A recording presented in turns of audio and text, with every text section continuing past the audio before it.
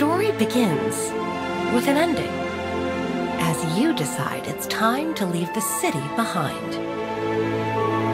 Yearning for a pause from life's responsibilities, you arrive at a familiar place.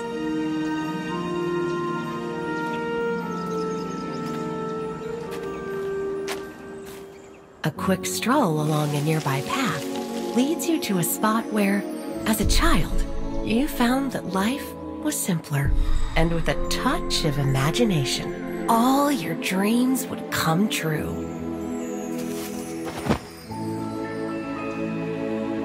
Finding the perfect place for a rest, you begin remembering these long lost dreams and drift off to sleep.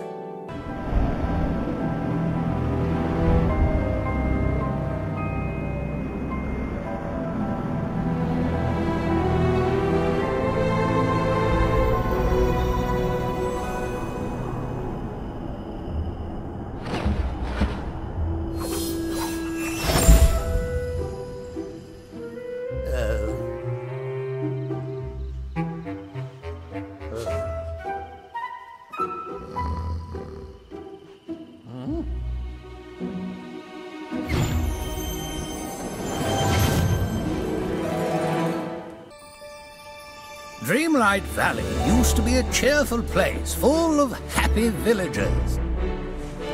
Life was flourishing here thanks to our ruler's magic. Until our ruler vanished and the forgetting began. Our memories faded, the valley became a shadow of itself. We tried to save our memories of the life that had been.